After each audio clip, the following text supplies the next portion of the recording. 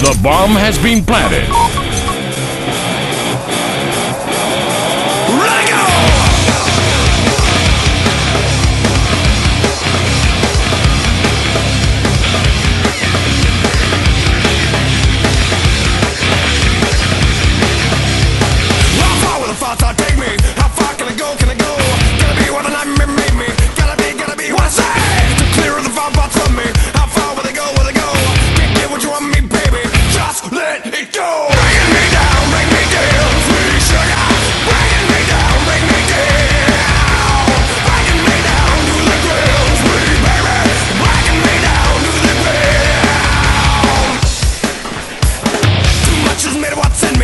never